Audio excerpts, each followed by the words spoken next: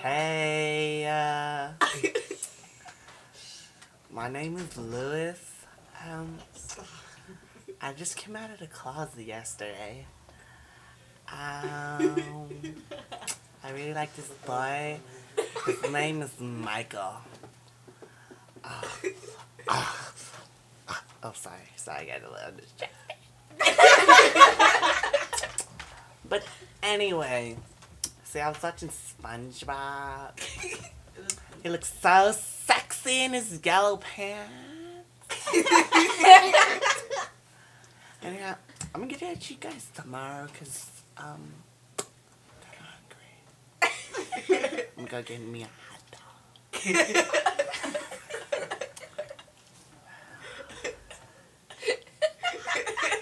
hot dog. I'm, I'm gonna put it in a bun. the hot dog in a bun. Put some special sauce.